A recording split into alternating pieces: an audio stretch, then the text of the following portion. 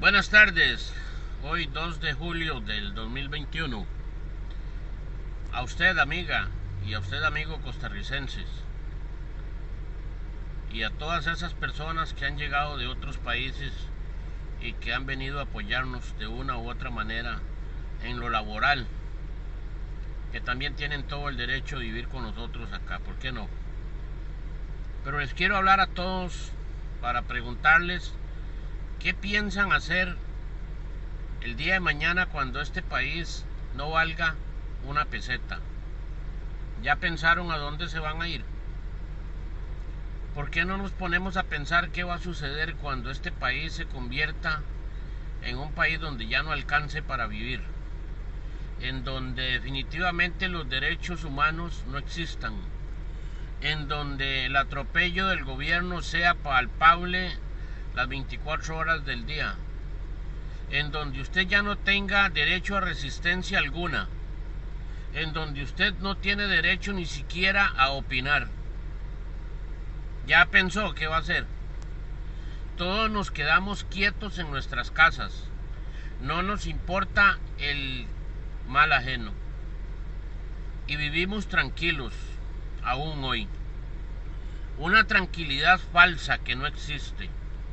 Una tranquilidad de miedo, de temor, de no querer enfrentar la realidad con valentía y con, y con coraje. ¿Qué vamos a hacer mañana cuando estos ya nos vengan a sacar de nuestras propias casas y nos quiten cara a cara lo que tenemos, lo poco que nos haya quedado? Los candidatos que aparecen, ninguno habla de corrupción. Los candidatos a diputados que tenemos en el momento ni se conocen, pero están aspirando. No sabemos quiénes son. No podemos confiar y seguir confiando en gente que ni siquiera conocemos. En candidatos a la presidencia que nunca han estado con el pueblo, que nunca le han demostrado a este pueblo que están con nosotros.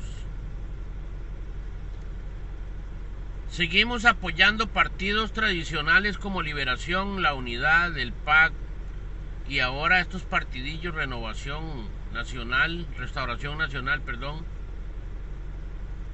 Nueva República y algunos otros, algunos otros por ahí que, como digo siempre, nacieron muertos, nunca van a llegar a nada. Qué triste ver gente apoyando a estos candidatos que han tenido en sus filas la corrupción y nunca han hecho nada. Y hoy por hoy callan. No dicen ni A ni E. No dicen nada. Y aún así hay gente que los defiende.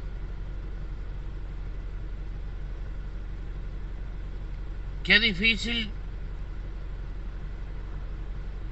se nos va a poner la situación si gana liberación, la unidad, el PAC, Nueva República, Restauración Nacional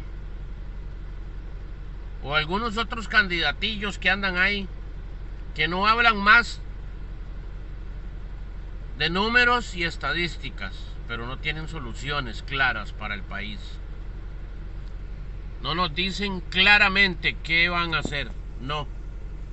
Nos llevan engañados y nos llevan hablados como han hecho siempre estos partidos.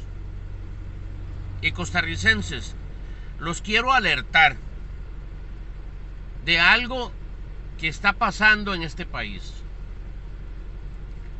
Hay partidos políticos de estos tradicionales que tienen otros tentáculos. ¿Qué quiere decir eso? Que ellos también son representados por otros partidos nuevos en la sana teoría,